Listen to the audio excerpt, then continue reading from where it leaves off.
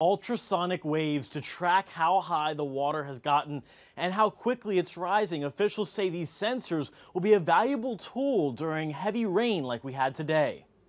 This is an innovation in itself to say like this is it. Like this is all you need. We could People say the sensors will unlock a new understanding of stormwater flooding in New Orleans. I keep trying to not geek out about just how cool the technology is. The plan right now is to install 20 stormwater sensors citywide, with the first already up in Algiers.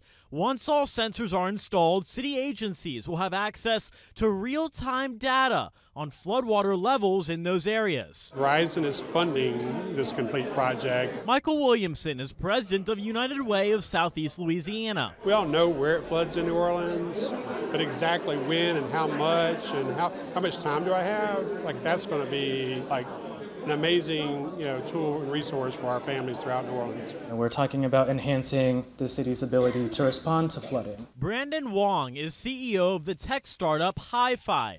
Hyfi, with the help of funding from Verizon, is producing the sensors. Once installed, they use ultrasonic sound waves, which bounce off the water below. The data is transmitted then through Verizon's cell network. When it comes to flash flooding, there is a lack of access to data for folks to be able to respond and understand where neighborhoods are flooded, for stormwater managers to see where infrastructure may need to be improved. Wong says the long term goal is to make the data more accessible for the public through platforms like NOLA Ready and apps like Maps. Really exciting things that we're seeing here with the possibilities of where this technology can go and how it can um, become a positive asset for the communities and, and its residents.